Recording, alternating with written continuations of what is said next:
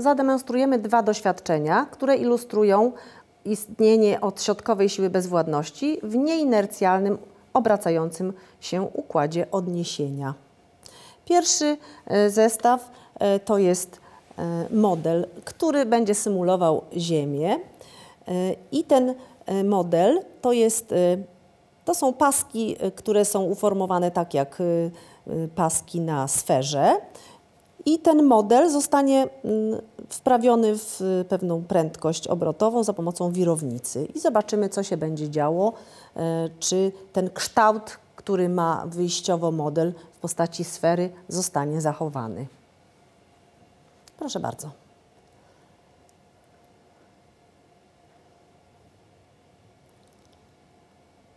Widzimy, że jak prędkość rośnie, to sfera zamienia się w elipsoidę,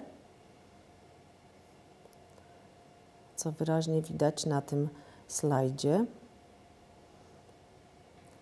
A więc jak sobie wyjaśnimy to działanie odśrodkowej siły bezwładności? Jeżeli mamy e, nieinercjalny układ odniesienia, który się obraca, to w tym układzie na każde ciało działa odśrodkowa siła bezwładności, która wyraża się następującym wzorem. Masa ciała razy kwadrat prędkości kątowej tego układu, który się obraca i razy r, gdzie r jest wektorem położenia punktu względem, e, tego, względem osi obrotu. A więc w naszym przykładu, przykładzie e, tego modelu, który ma symulować Ziemię, jeśli założymy, że Ziemia się nie porusza, nie obraca wokół własnej osi, to wtedy na każdy punkt działa taka sama, e, na każdy punkt na, na obwodzie Ziemi działa taka sama siła e, co do wartości. Każda jest zwrócona wzdłuż promienia Ziemi do środka Ziemi. Jeśli jednak Ziemia się obraca, to wówczas im bliżej e, znajdujemy się równika, tym większa e, odśrodkowa siła bezwładności działa na e, ciało, które znajduje się właśnie bliżej równika. I ta odśrodkowa siła bezwładności ma zwrot przeciwny do siły grawitacji. W związku z tym wypadkowa siła, która działa w płaszczyźnie równikowej i na każdej szerokości geograficznej, która jest inna aniżeli 90 stopni, będziemy mieć siłę Y, grawitacji trochę mniejszą aniżeli siłę grawitacji, która działa na biegunie. W związku z tym te punkty, które znajdują się y, właśnie y, w płaszczyźnie równikowej, będą, na, na te punkty będzie działała najmniejsza wypadkowa siła i, i dlatego obserwujemy taki efekt spłaszcza, spłaszczającej się Ziemi. Zamiast kuli mamy elipsoidę. Drugie doświadczenie, które ilustruje odśrodkową siłę bezwładności, to jest e, regulator Wata, który był stosowany powszechnie e, jako regulator w maszynach parowych, e, które, jak wiemy, zrewolucjonizowały świat w XIX wieku. Regulator Wata składa się z dwóch kulek, które są umocowane wspólnie i te dwie kulki zostaną wprawione w ruch obrotowy i zobaczymy, co się będzie działo wtedy, kiedy właśnie będą się poruszały z dużą prędkością. Proszę bardzo.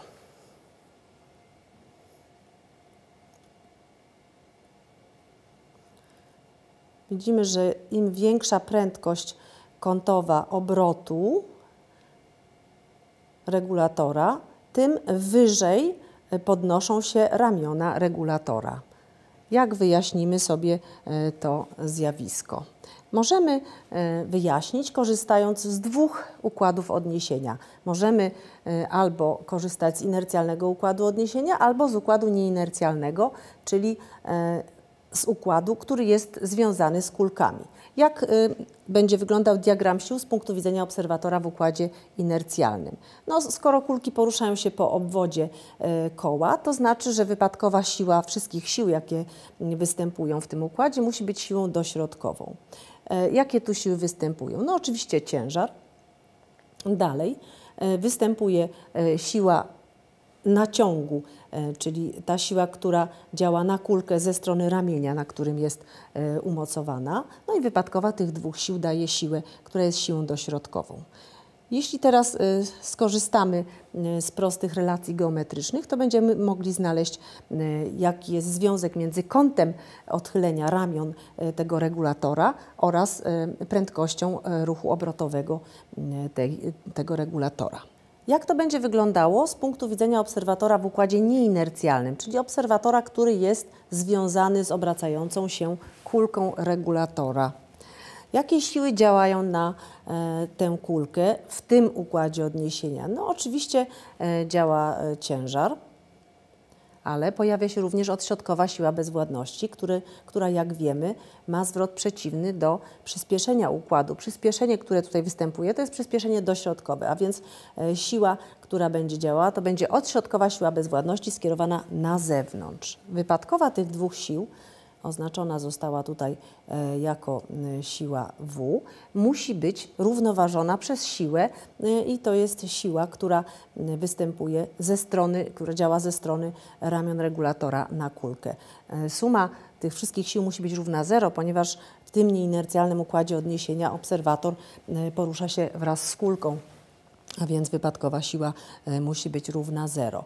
E, widzimy teraz, że niezależnie od tego, czy będziemy e, zadanie rozwiązywać korzystając z równań, które da nam diagram po prawej stronie czy po lewej stronie, to relacje, jakie otrzymamy między kątem wychylenia ramion oraz prędkością kątową mm, ruchu obrotów, e, obrotów regulatora będzie to sam, ten sam, dlatego że te relacje będą takie same, dlatego że siła dośrodkowa i siła odśrodkowa, pomimo że dotyczą różnych układów odniesienia, co do wartości mają takie same wartości, a więc y, jeśli sobie mm, policzymy tę tangens na przykład kąta wychylenia tych ramion regulatora, to ten tangens, e, ponieważ ten kąt znajduje się również w tym miejscu, to jest stosunek siły dośrodkowej do ciężaru, czyli m omega kwadrat razy r dzielone przez mg. Jak skrócimy sobie przez m, to jest omega kwadrat razy r dzielone przez g. Widzimy, że im, większy jest, im większa jest prędkość kątowa ruchu obrotowego tego regulatora, tym większy jest kąt wychylenia z położenia równowagi.